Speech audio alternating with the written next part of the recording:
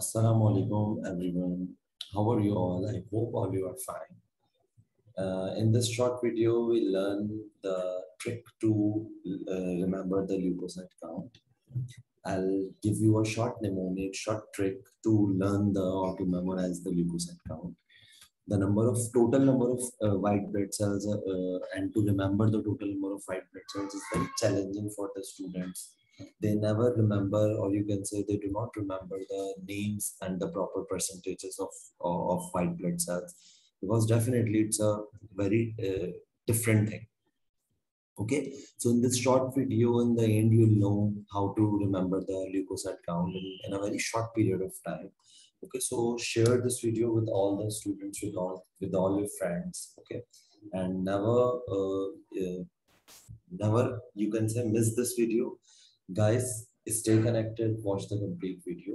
Okay so let's begin. It's a very interesting video by the way. Okay so uh, there are three mnemonics i have selected. In the beginning we'll discuss this mnemonic and then later on i'll share this one as well. Okay so nobody likes my educational background never let monkeys eat bananas and never let my engine blow these three mnemonics, uh, you can say they are very simple. Uh, obviously, these are very simple sentences. We can definitely memorize these three sentences. With ease, there is no much, there is no problem in, uh, in learning these three sentences. Okay, so I'll explain it. Actually, these three sentences stand for the same thing or you can say the uh, the red the white blood cells in the descending percentages. If we arrange the white blood cells in the eh, in the uh, you can say descending percentages for example neutrophils then lymphocytes then monocytes then eosinophil and in the end basophils. So neutrophils for nobody lymphocytes for uh, likes my monocytes educational for eosinophils and background for basophils or if you do not want to use this sentence, so you can use these two, these two sentences as well. Never let monkeys eat banana, never for neutrophil, let for lymphocytes, monkeys for monocytes, eat for eosinophil and bananas for basophil. And definitely the third one is also the same. And the percentages are very simple. Percentages, you can learn the percentage in this way. 60, 30, 6, 3, 1. 60 for neutrophils, 30 for lymphocytes, monocyte 6, eosinophils 3%, and 1% basophils. Okay.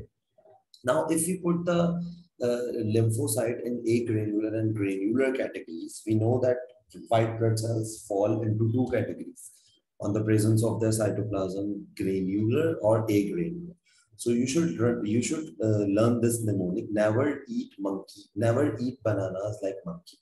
Okay, so granulocyte, neutrophil, eosinophil, and basophils never neutrophils, eat eosinophils, bananas, basophils, and agranules are lymphocytes and monocytes.